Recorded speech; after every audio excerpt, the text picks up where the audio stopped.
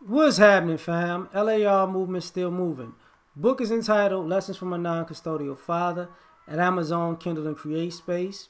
Link will be in the description box below as usual. Go get it. PayPal link there also. They asked me to put it up, so I put it up. Thanks everybody for supporting. This video is entitled Immigration and Reparations. I was having a um, conversation with a family member about the interesting things to me about this immigration debate and the interesting thing, the interesting thing about reparations. And they were like, I don't understand why all of the, like all of these people are, having an issue with black people wanting reparations, and that includes you know, that includes black people who are not necessarily from America, right?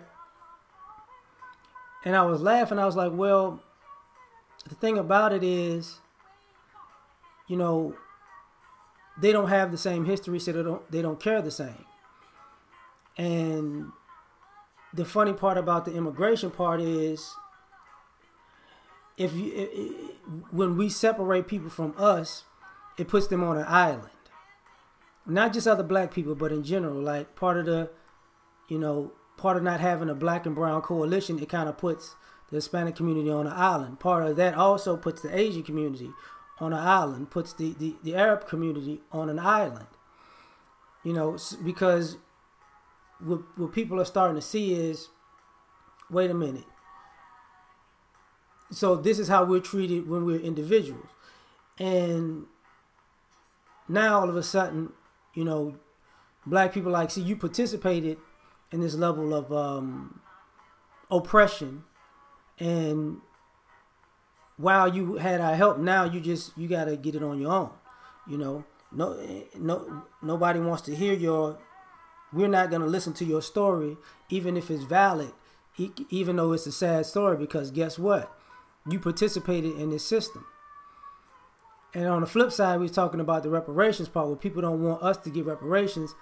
But I was like, you know, this country is kind of very much so hypocritical because there are things that that this that America doles out money to other countries all the time,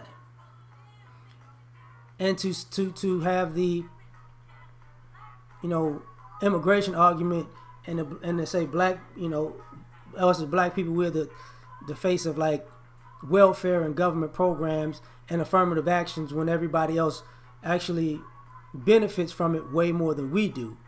And at the same time abroad give money to people in countries on a regular basis as quote unquote aid, which is welfare, or for some kind of political thing, which is like country welfare and reparations. And I was clowning because I truly don't notice to this day. I'm trying to figure out why does America keep sending billions of dollars to Israel every year? I mean, they basically got paid reparation th- that community got paid reparations from Germany, but we don't look at America sending Israel billions of dollars as like extra reparations from the United States.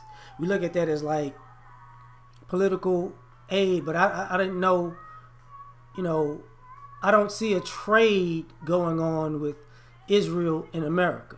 Like I get Saudi Arabia, um, you trade military, uh, um, military technology and military tactics for oil. I get that. You get what I'm saying? But Israel, it was never like that. It, it was just giving them money to build the country, giving them money to build the country, giving them money to build the country, giving them push out the, you know, the Palestinians, give them some more money to build the country. And it's like, well, how can you say on one end you don't want us to have reparations here, but you you built up a nation on the other side of the Atlantic. You know, and you know, giving money to Africa, of course, um, but they didn't. But it, but not even helping them build up a nation. You know, you give money to Africa, but it didn't really, but didn't really help the infrastructure or build anything. It, it was two completely different things. But at the same time, in Africa, you, using that money in some ways to access and gain resources and bring those resources back to America. So it's like I don't get it. Now, the other thing about the immigration and reparations part was they were talking to me about um, the the the the, the migration from people to Central, South and Central America through Mexico to America, and it was like, well, Me- Mexico wound up being like kind of like a sanctuary country where you can get amnesty in Mexico, but people didn't want to stop in Mexico; they wanted to come here.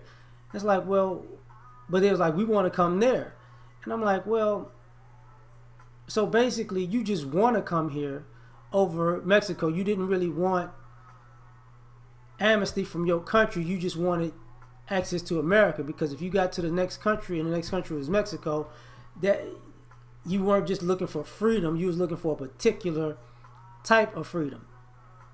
And then people come here as immigrants and they're like, you know, I want the American dream. I should access the American dream, which to a degree is understandable, but to a degree it's kind of weird that you want you want to access it under somebody else's template or under somebody else's uh, um, work or, so, or, or under somebody else's history, and then say you deserve more than they do and then you use their template, their work, and, and, and, and, their history as a way to springboard yourself ahead of them. So basically, you're you're you're you're, you're a, a, political culture vulture for your own gain, and you're not and you're not supposed to be looked at as such, which is problematic because it's going to cause a rift. Like, oh, we don't do this because a lot of the groups.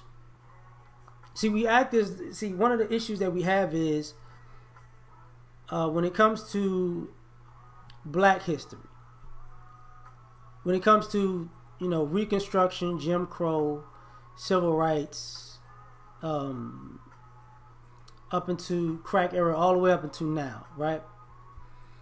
We act like Hispanics weren't here. We act like um, uh, Asians weren't here. We act like uh, um, uh, uh, Muslims or, or, Arabs weren't here. They were here.